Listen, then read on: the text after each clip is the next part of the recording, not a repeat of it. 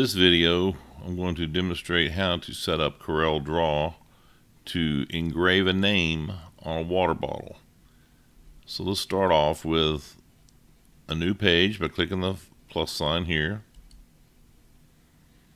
And let's call it um, just water bottle.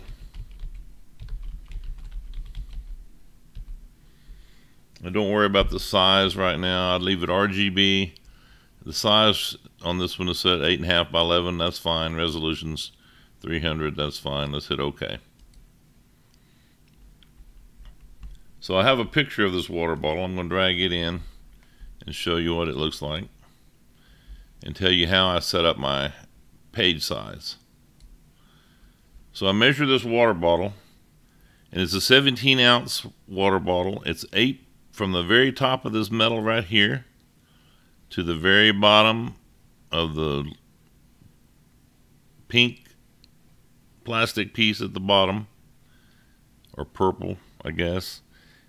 It's 8.125 inches tall. And I measure the circumference either with a tape measure that's a paper tape measure that can wrap around it or better yet is measure the diameter and get online and find you a circumference calculator and put the diameter in the calculator and it will tell you what the circumference is of this bottle. So I, with those numbers, I got 8.125 tall. I want this dimension to be 8.125 as if the bottle was laying on its side like this right here. So I'm going to click here on the on the side so nothing's highlighted. I'm going to tell my page I want from left to right I want it 8.125 inches and the circumference on this bottle measured out to be 8.33 so 8.33 and hit enter so now you'll see that with this bottle laying on its side it's going to be the height is right here and then the circumference is like you cut us cut this down the middle and just rolled it out flat and that's what this line here or this dimensions here represents is the circumference. So with that being so that done let's I like to put my origin right here at the zero zero level. So let me zoom in just a little bit. And let's grab just click and hold that but that little icon right there and you'll see the crosshairs. They should snap into place.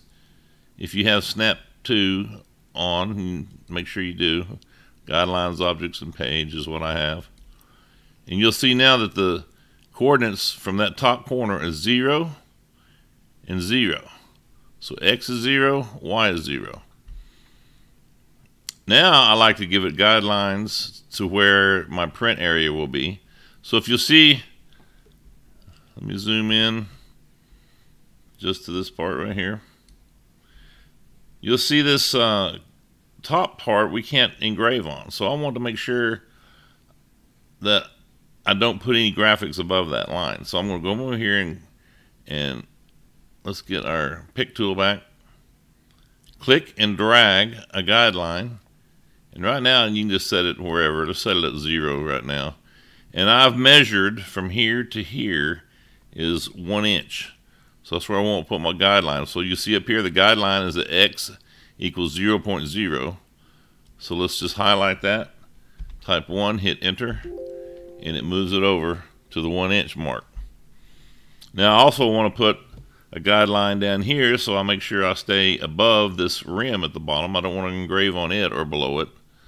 So let's grab another one, bring it over, and put it anywhere you want right now because I've measured it and it's 7.5 inches from this top edge to there.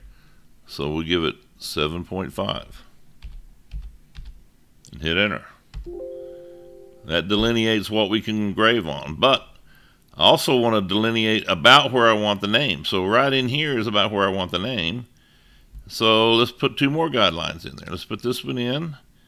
And I determined that three inches down from the very top ought to be pretty good. So I'll give that one three inches. Hit enter. And one more for the bottom of it. I want it to be about an inch tall or so. So I gave it four inches and hit enter. So now you can see these two guidelines is right about where I want my name to be. And I don't really want anything here or here. So now we want to put our name in there. Let's pick the text tool. Click here or anywhere. And I want Artful to be my font. So I'm going to click here. And this is Artful, Artfully. And in this case, I'll change the points in a minute, but let's zoom in a little bit and the name is Ofelia. O F E L I A. Then you hit the pick tool again.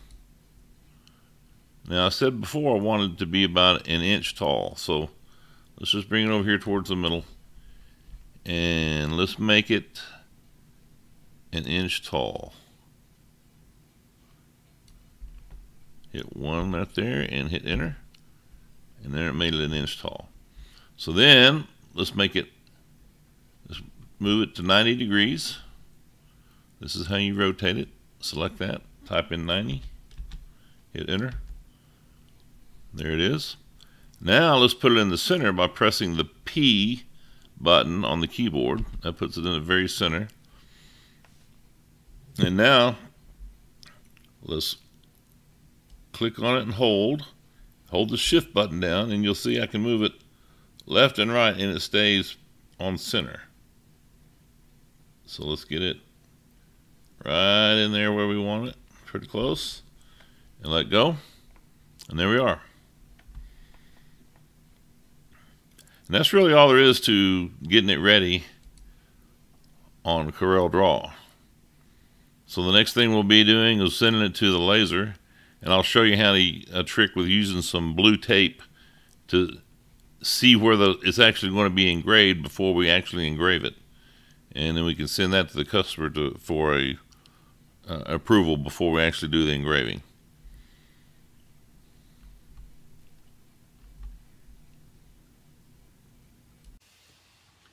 Okay, when you're making a bottle with a name on it, painter's tape, blue painter's tape can be your friend.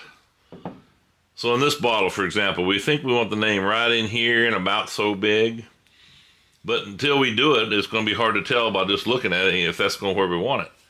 So we can take blue painter's tape and tape around the area that we think we want to put the name. We can put it in the laser, go ahead and mark with light power on the tape to see if that's exactly where we want it, if the size is correct, and then we can also send a picture of that to the customer before we actually do make the engraving.